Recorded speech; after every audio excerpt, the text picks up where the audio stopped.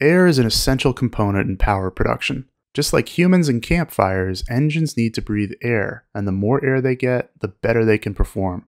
In the engines in most trainer aircraft you've flown, the source of that air is pretty simple. It comes from the air outside the aircraft and is introduced to the engine through intakes. Let's look at the Piper Arrow again to see an example of this simple form of air induction, what's known as normal aspiration. Think of it as normal breathing. As we fly forward, outside air in the environment moves towards the front of our aircraft. That blue tube pointed forward is the air intake, and it typically has an air filter on the front of it to clean the air before it's introduced to the engine. That air then moves up the intake into the cowling and engine assembly. At this point, this is the same air with the same pressure and temperature as what's outside the aircraft in the general environment. Let's say we're on the ground at sea level, 0 MSL. We're at a low power setting, about 12 inches of manifold pressure, because the throttle is closed. Note the valve in the throttle body is restricting the airflow further into the engine. If we open the throttle using the control in the cockpit, the valve opens, allowing that air we've taken from outside to be ducted into the cylinders through an intake manifold. Power is increased to 30 inches with the throttle fully opened. The throttle isn't restricting any air from flowing through the intake manifold, so its pressure is equal to the outside air pressure, also 30 inches. Power is produced in the cylinders, and exhaust gas is ducted through the exhaust manifold and out the exhaust pipe back out into the atmosphere. So, three things are true. The engine produces more power when the air is denser, the density of the air in the intake manifold is limited by the density of the air in the general environment, and the air gets less dense as we get higher.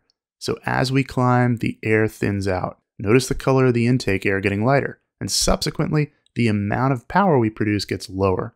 For every thousand feet we climb, we lose about an inch of manifold pressure. By the time we're at 10,000 feet, we're only getting 20 inches of manifold pressure, which might not be enough to sustain a good climb rate. So in the normally aspirated engine, we're limited by the outside air pressure and how much power we can generate. What if there was a way for the engine to breathe the same pressure air it gets at sea level, even when it's up high at altitude? We get the answer if we look to the exhaust air moving through the manifold and being expelled out the aircraft.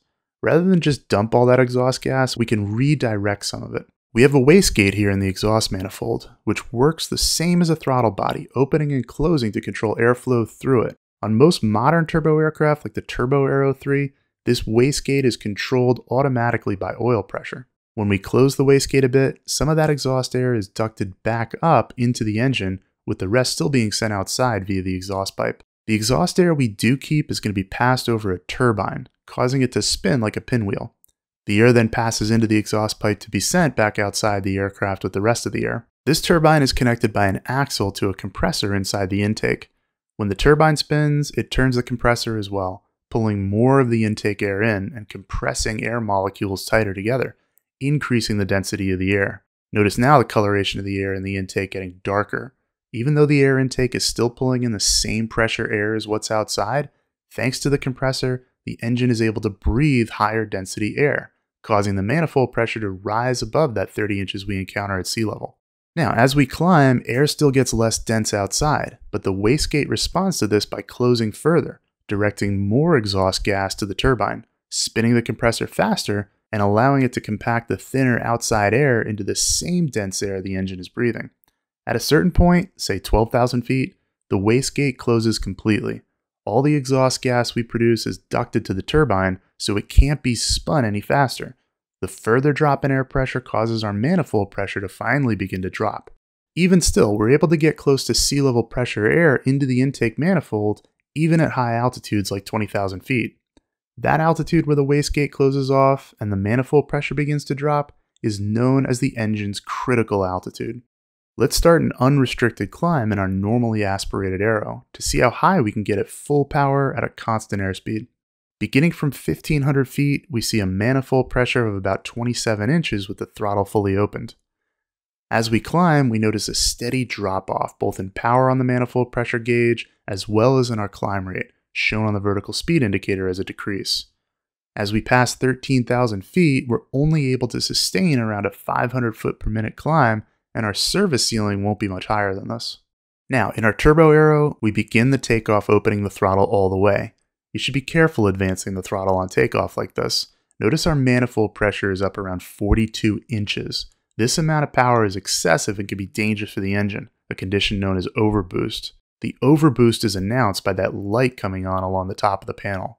The Arrow 3 requires that we don't run at manifold pressures above 41 inches, but for demonstration, and because there's no danger of breaking the engine in the sim, we're going to keep the throttle at full beans. The turbocharger will have an overboost valve to allow some of the excess exhaust gas to bypass the turbines, but we still have to be cautious of running too high.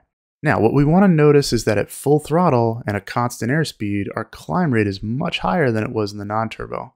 Also, we don't see the same steady drop in manifold pressure as we climb.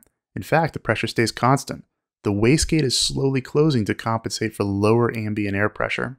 We can in fact stay at this high manifold pressure setting until approaching our critical altitude, which is 12,000 feet for the Turbo Arrow 3. At that point, the wastegate is closed completely and we begin to notice a drop off in power. As that happens and we drop below 41 inches, the overboost warning light at the top of the panel switches off, and we continue to lose power at higher altitudes. We're still able to sustain a very good climb and approaching flight level 200, 20,000 feet, we've only just begun to feed the intake sea level pressure air around 30 inches. The turbocharger allows us to generate more power and climb to higher altitudes where we could take advantage of better winds and true air speeds, cutting down on our cruise time and fuel usage. A few general words of caution that apply to many GA turbocharged aircraft. The turbine and associated axles can rotate in excess of 80,000 times per minute. Such high RPM require the bearings to be supplied with engine oil. Before opening the throttle to takeoff power and thus spinning up the turbine to those speeds, the engine oil should be brought up to its normal temperature range. Similarly, the turbine needs time to cool down after flight before the engine shut down. If hot oil is left in the bearings after shutdown and not allowed to pass through the oil cooler, it could boil off and leave nasty deposits on the shaft, which hurt the turbocharger. As always, look to your aircraft's POH for specific limitations. This video is part of Flight Insight's newest course, Commercial Ground School. Take your flying to the next level and get ready for your commercial check ride with videos on maneuvers, complex operations, regulations, and everything you'll see in the commercial curriculum. Check it out at flight-insight.com slash commercial.